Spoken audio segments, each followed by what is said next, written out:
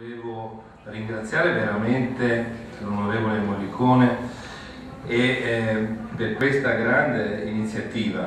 Per questa grande iniziativa noi siamo lieti di poter dire come Verona Fiere di ospitare questa conferenza stampa che poi sarà preludio alla quarta eh, edizione del Carnevale Romano.